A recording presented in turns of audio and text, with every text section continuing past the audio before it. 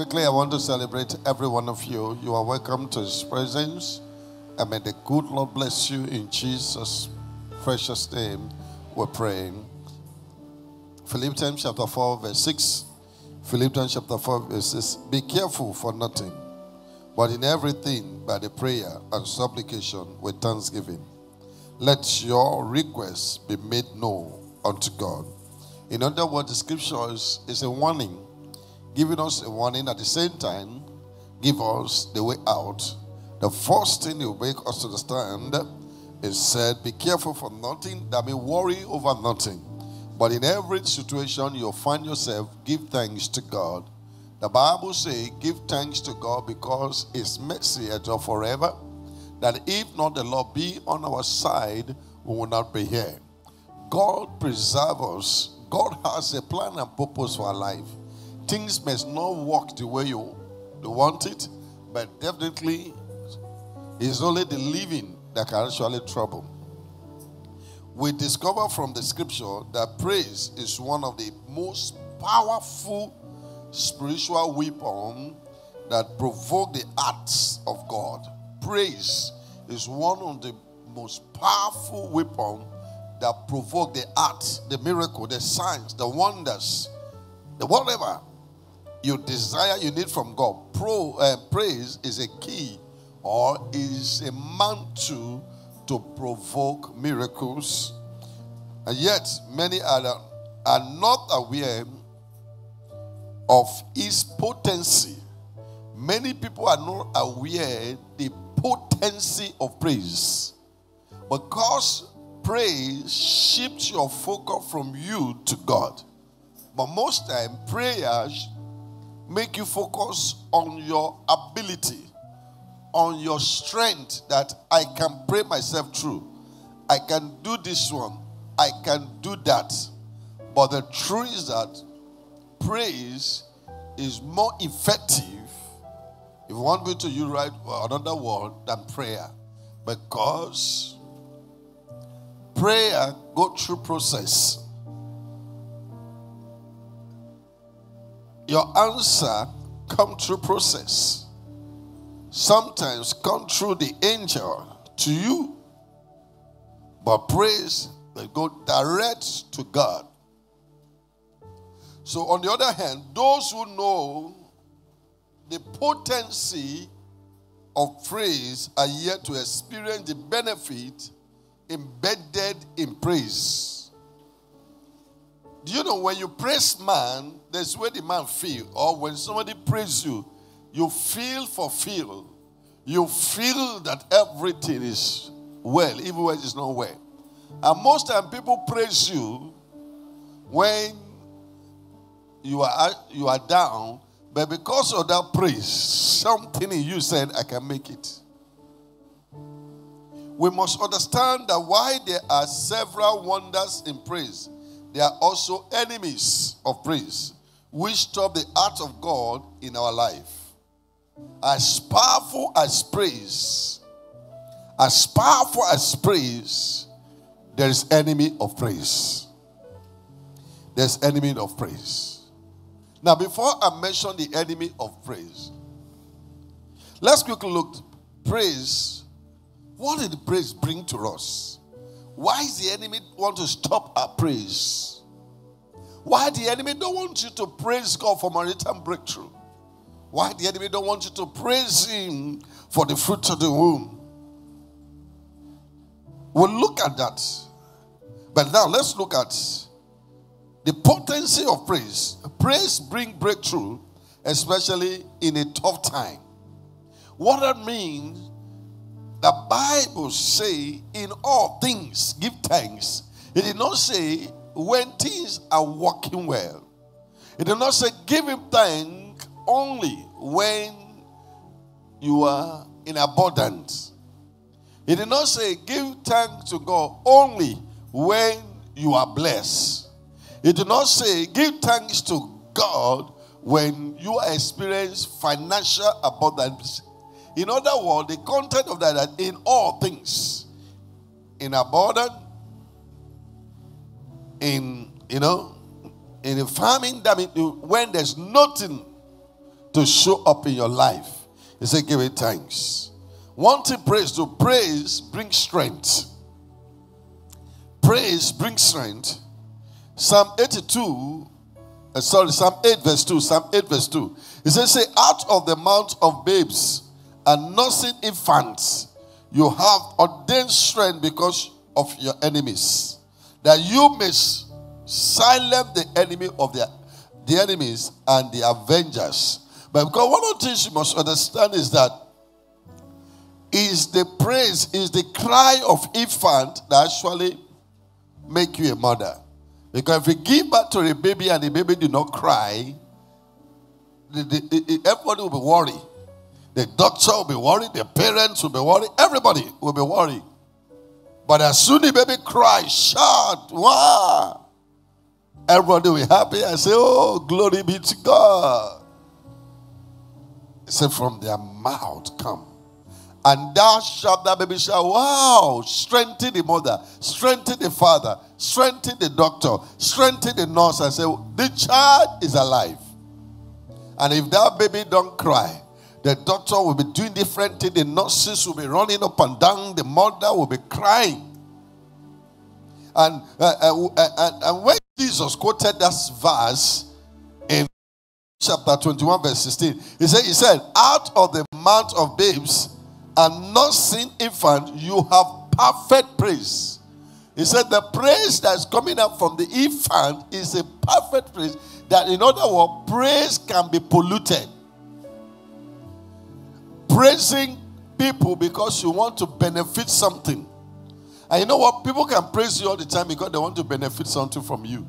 But you know what? God have nothing to benefit from us. We have all to benefit from God. That's the reason we need to praise Him. We need to praise Him. Number two, praise silence the enemies.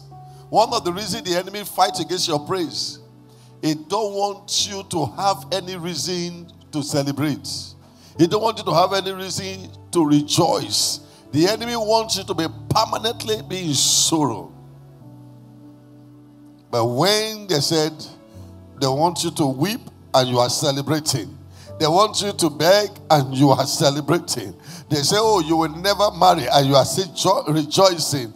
And they say, Oh, you will not, never, never will you carry your baby. You are bouncing every day.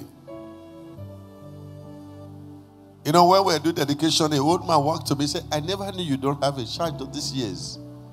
And there's no sign. Because the enemy want that condition for you to be sorrowful. And sometimes you lost your joy because when your focus is narrow to your pain, you lose your entire joy.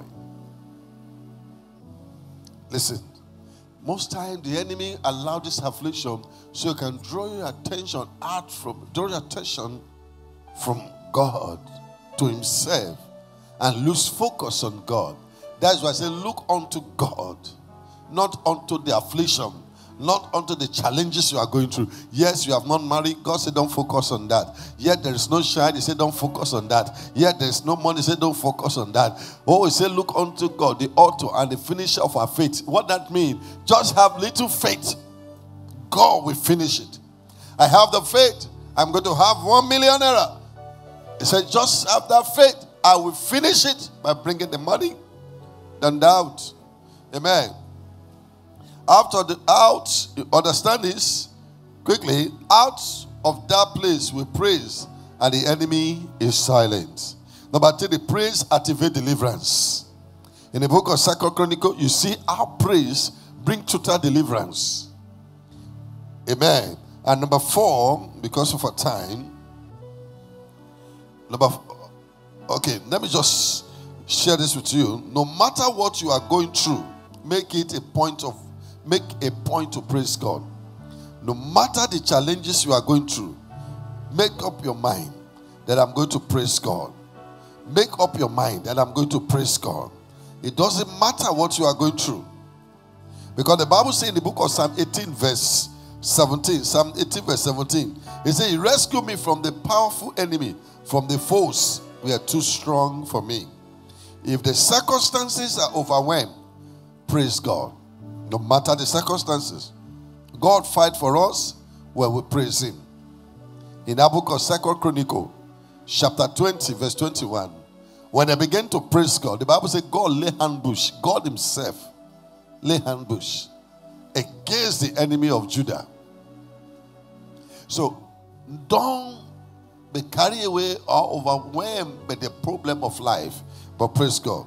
You can see what there is such a wall over your praise, the enemy only fights your praise. I read something in the book I, I wrote here by Jack Taylor. Jack Taylor is a is quoted and said this. He said, "Complaining is to the devil what praise, why praise is to God. When you are complaining, why God has not answered my prayer, why things are not working, all these you go to devil because God doesn't listen to complain. God doesn't listen. No, if you complain, God, why me? God, if you don't give me money, I'm not going to serve you. If you don't give me husband this year, I'm not going to serve you. If you don't give me wife, if you don't give me money, if you don't give me child, I'm not going to serve you. God doesn't listen to all this complaint. Because both the devil and everybody is created by God. And God is not the problem of man because he established, established the authority in Genesis chapter 1 when he said, You shall have dominion. In other words, he said, I have given you authority. I have given you dominion. Yet we lost our dominion as a result of sin. We lost the dominion. But Jesus came to restore us back to our original dominion.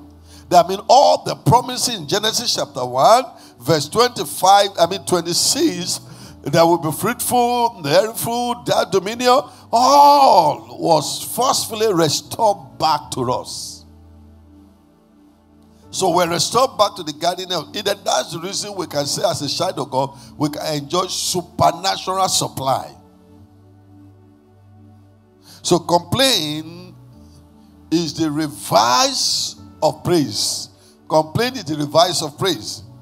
It is half of our, it, you know, complain drain our strength, amplify the enemy's influence in our life. When we begin to complain, he apply, I mean, amplify the strength of the enemy.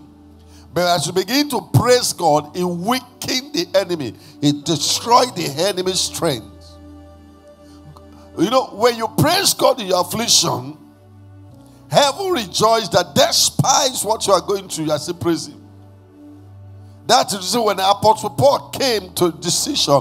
He said, What is going to separate me from the love of God? What will separate me from the love of God? Is it tribulation? Is it nakedness? Is it trial? Is it poverty? He's saying all these, me, I'm more than conqueror. In other words, I have conquered before the problem comes. So when the problem comes, I'm not going to give up. I'm not going to give up because of that problem. There are many of us, instead of appreciating God, we complain. But remember, what you are complaining about, somebody died yesterday. They couldn't experience it. Oh, have gone through many pain. I don't think God answered my prayer. You know, sometimes we move from one church to another church and feel that God is not here. God is just looking at you. You have changed, you have moved to another place, you have been there for years. Yes, there's no result. Because what God wants is your praise. Is your praise. Amen. And bring, we all do all the time. But when we chronically complain, the sword of God gave us, it get turned on us and reap havoc. When we complain too much, the sword of joy and praise give to us return back to destroy us. And we complain will only lead you to depression. But praise will, like I said, praise brings strength. It brings strength.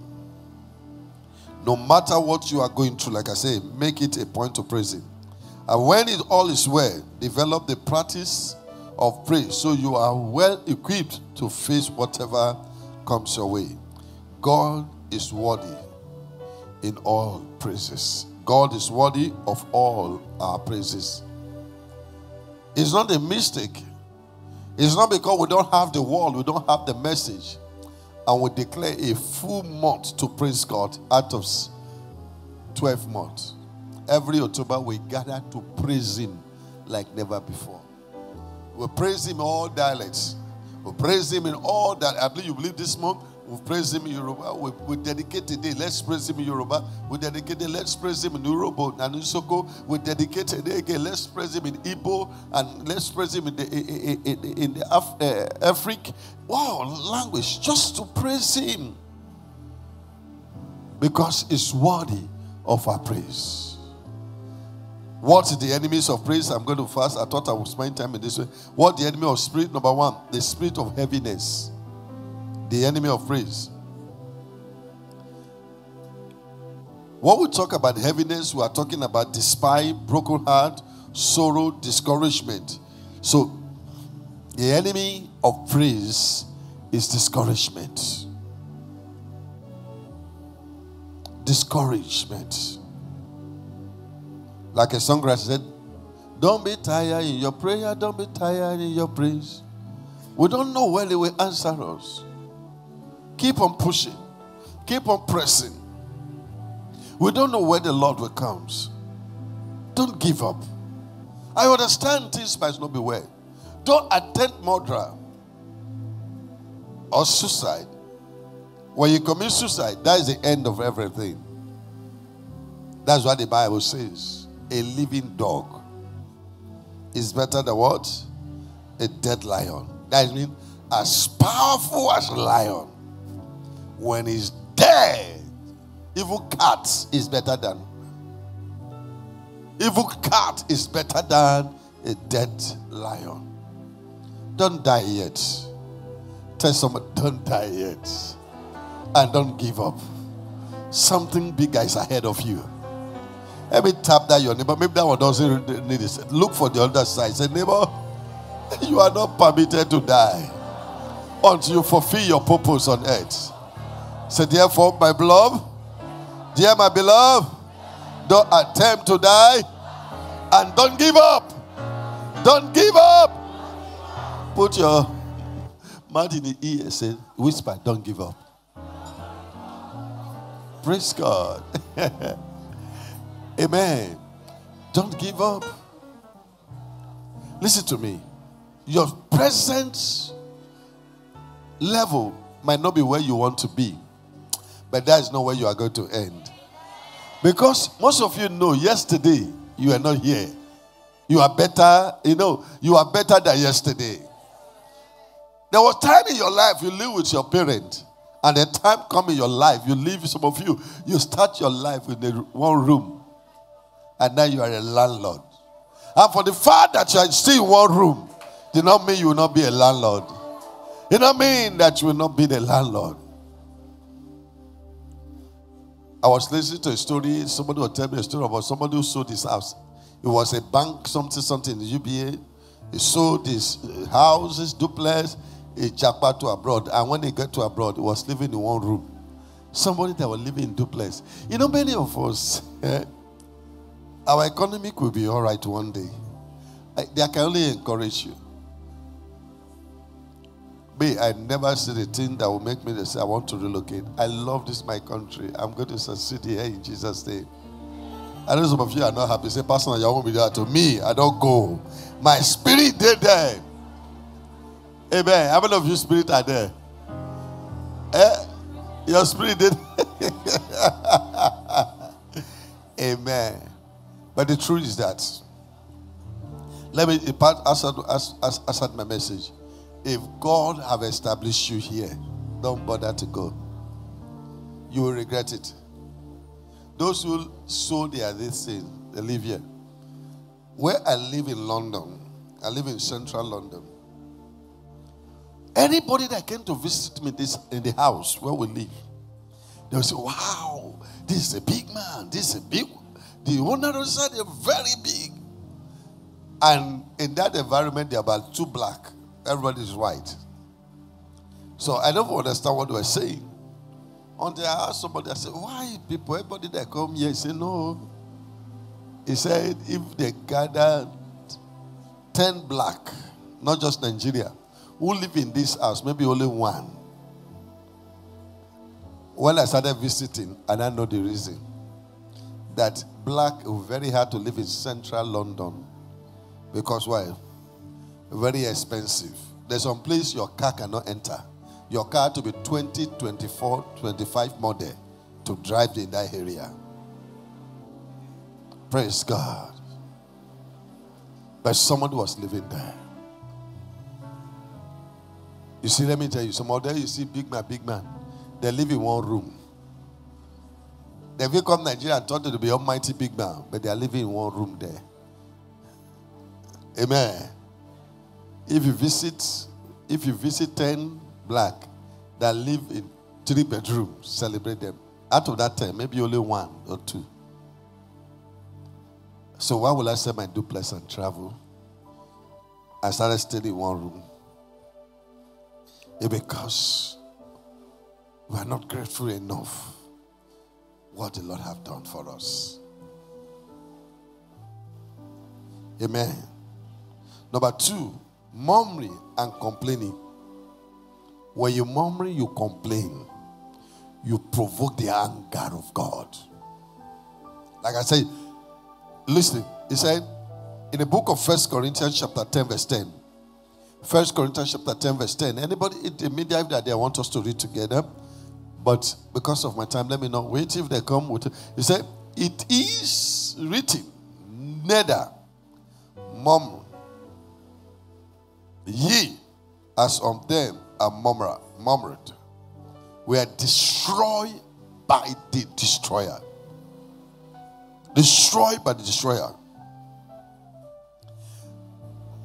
Murmuring is defined, murmuring and complaint is the repeated voicing of your dissatisfaction over the situation God has placed you in.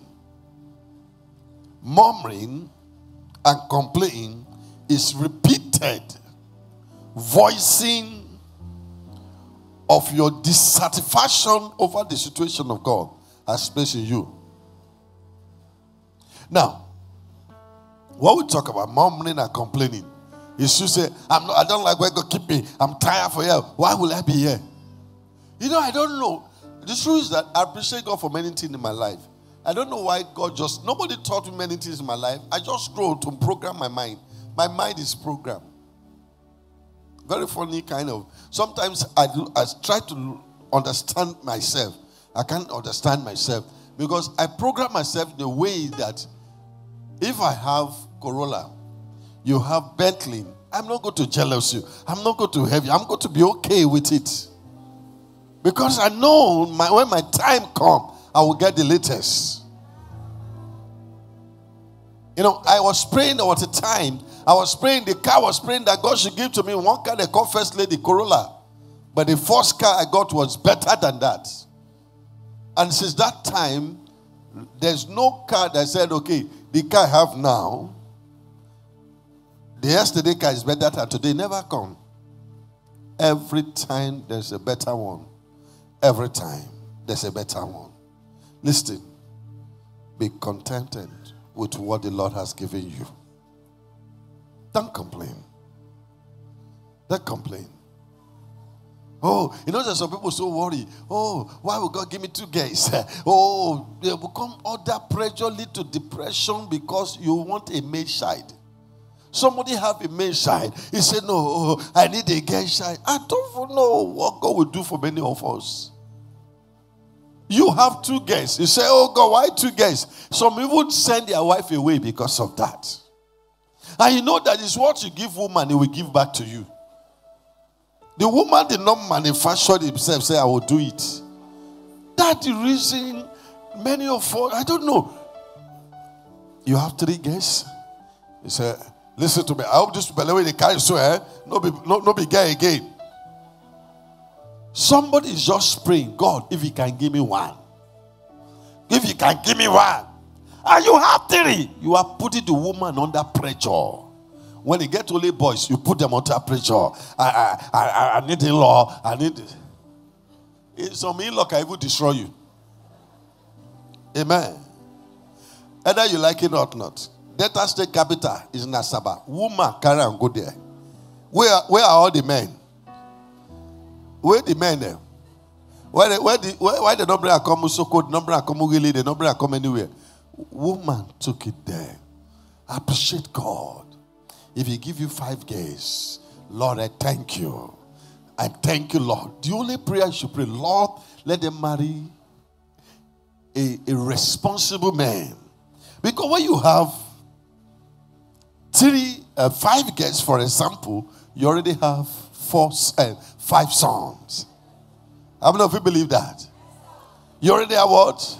Five sons. When you have five boys, you already have five daughters. All you need to pray, Lord, this my daughters. Give them a, you know, because there's some useless men. Don't let them come close to them. Waste out of destiny should not come. That's your prayer. If God decided to kill all of them, how will you feel? I don't know God can actually kill all the children. When you complain too much, okay, hey, eh, okay, this your guy is here complain. Okay, no worry, I'll give you none. That's why me, I don't have anything to do with gender. Either they are girls, so they are boys, don't they consign me. Woman being a woman being. Pekin a Pekin. Don't trouble yourself for nothing. Don't trouble yourself. Murmuring and complaining is the reason God destroyed a nation. Amen. Everything we're murmuring about never grow. Rather, it diminish.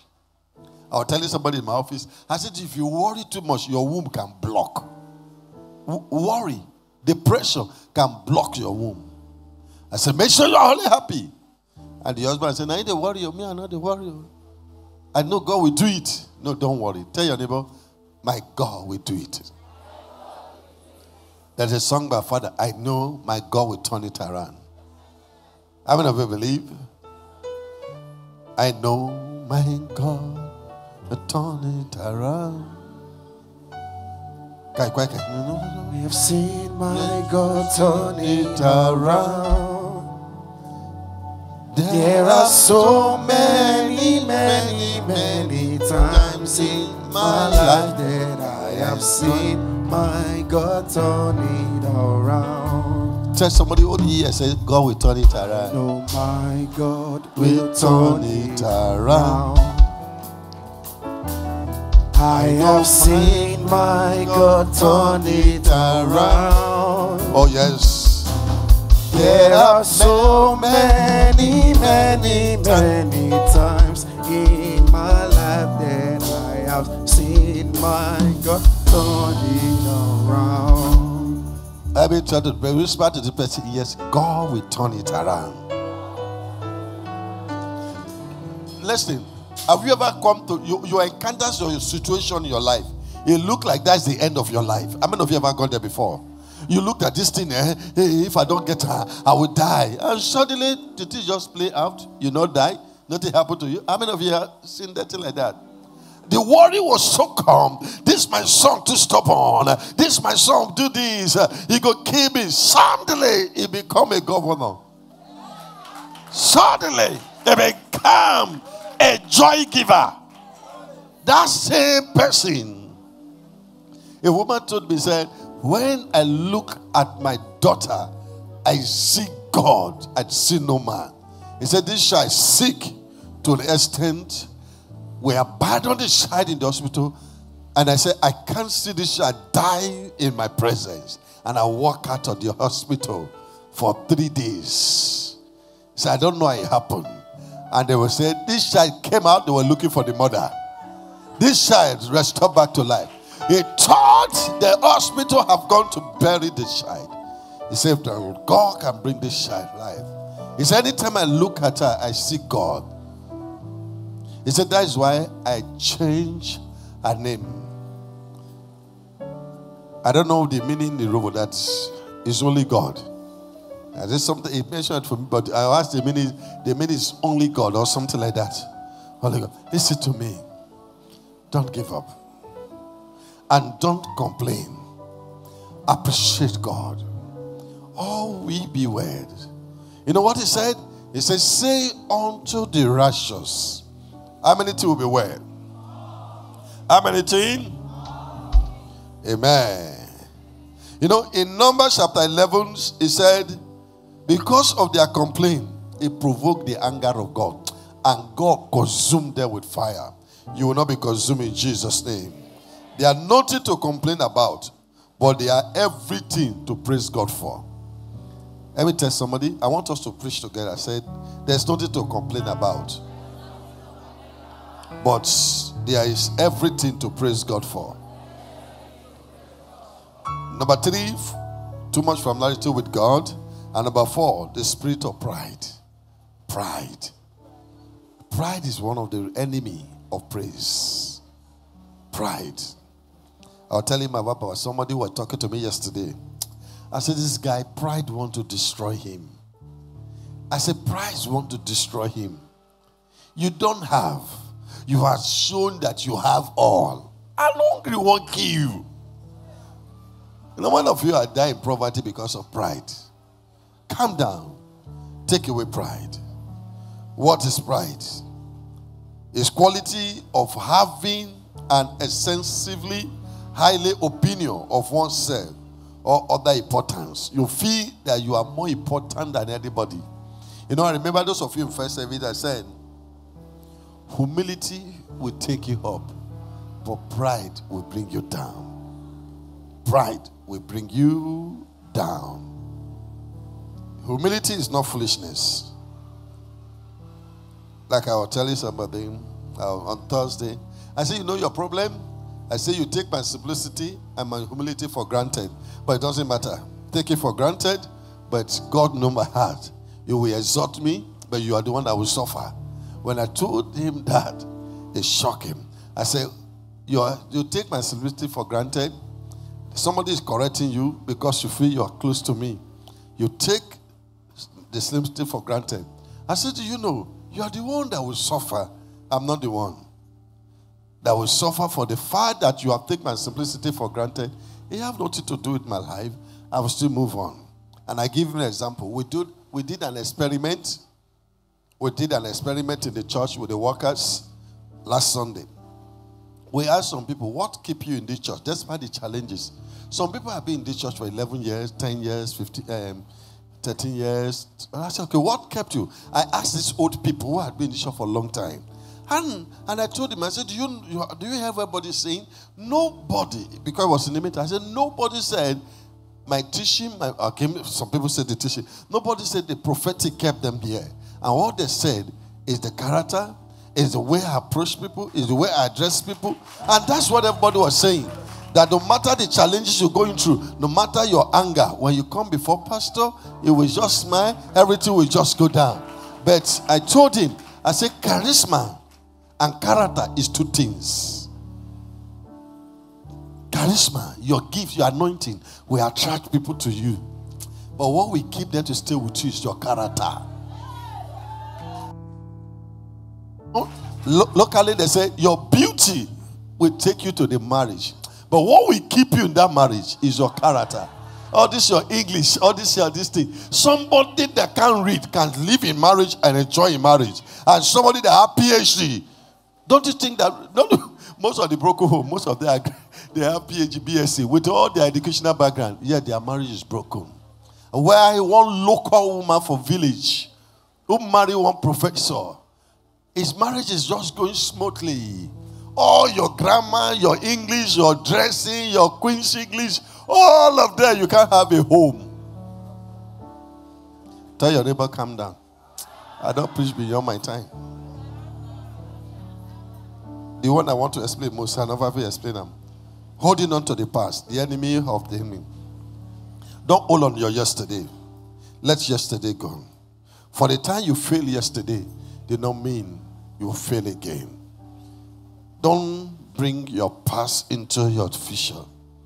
Some of you, oh God. I will talk to one of our daughter, and I said, Listen to me.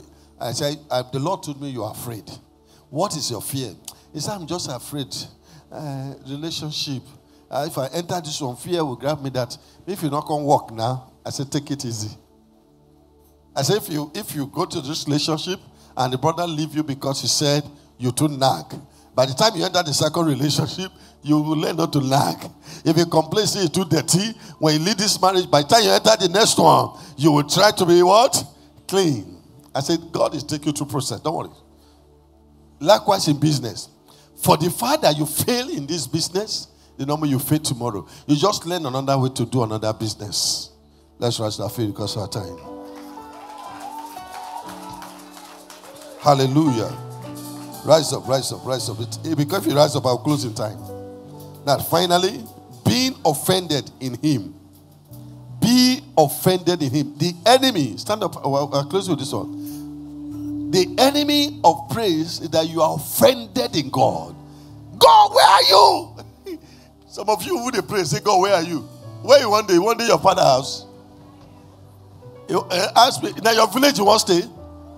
Say, God, where are you? If truly you are there, he, he's there. Eh? He did there before your four, four, four father. Not be your time. God can say, okay, no, make I go stay a parame. May I go stay. What's your mention your village name? Ugeli. Oge Uge. I mean, you say eh, Oge Uge. Is it a name of village? God will not say because of you, say, eh, because you pray, make I change my throne. Make I come stay your village. God, if it's really you are there, uh, if, if he can't say not there, what do you want to do? Listen to me. God is there. Before you were born, he has been. After we leave and go, he still remain God. After the second coming, he still remain God. There's nothing changing for being God. The time we have been offended in God are our stumbling block in life. It is written in the book of Matthew 11 6. And blessed is he whosoever shall not be offended in him. Revise it. God is him that is offended in him. Don't be offended. Don't be offended. There are many a time we pray. We pray. Somebody die. Pray. Come back. We pray, pray, pray. Don't come live. You know, so when we see another born die tomorrow, we not pray. There are many times you pray for the sick. For the fact that you pray for somebody not heal. If when you pray and the person is not heal, you are angry. That means you are taking the glory. You are telling the person, listen, and maybe the healer. God is not the healer. One day, my younger brother, Pastor Ola, he brought dead somebody come from Kolo. They carried the person dead come for this car. They park it here. And they came to meet me to pray. I was going, can't temptation me this. Somebody don't die for you. You can't come. And know, when I noticed, I, I asked God, Lord, what should I do? The Lord said, No, you can't do anything. He's dead. Okay, Lord, what will I tell them to me to believe that you said so? And he said, They have problem with two wives. And one praising him. And I said, oh, okay. I call him. I said, where is the brother? I said, how many wives? He said, might have two wives. I said, one, is, one of them is tall, one of very short. And I have issue. I decided to move out from the, the first wife to the second wife. And from there, he said, Yeah, what happened? We told him, oh, we told him, we told him. I was telling, okay. And then we told him. I said, God, thank you. Don't deliver me from this.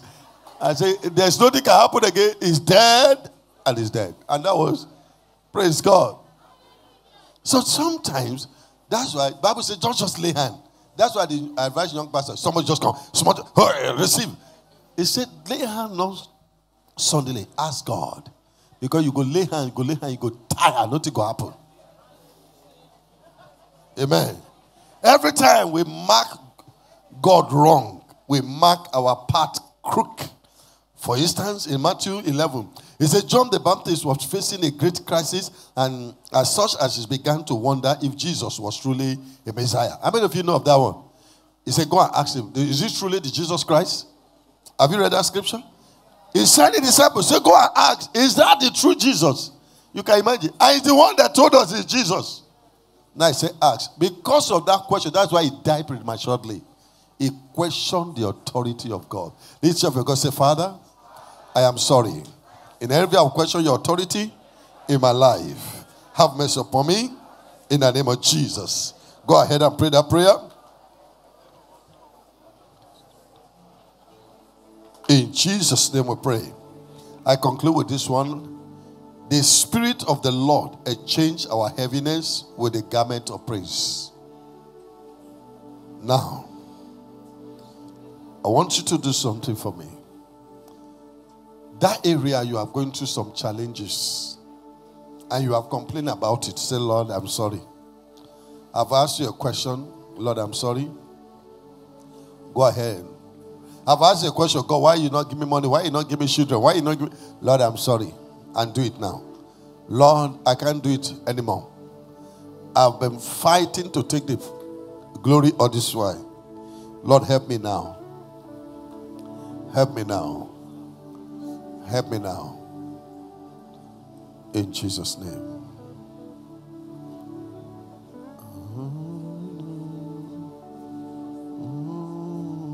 May the Lord bless you. May the Lord honor you. May the Lord keep you. There are two things God said we'll do in this service. I will be glad to pray for anyone trusting God for the fruit of the womb. And secondly, anyone that said these threats over my business that make you to think that that could be the end of the business. I might not do business again. That look at that if this business or this contract I don't know doesn't come, that means my life has ended. The Lord said, No. I have never started. I want to do it for you this month before you end. Can you lift up your hand? I'll pray for that two persons, that two group of people. I'll pray for you when the time comes. Can you lift up your hands? I appreciate God. Thank you, Lord. In Jesus' name we pray.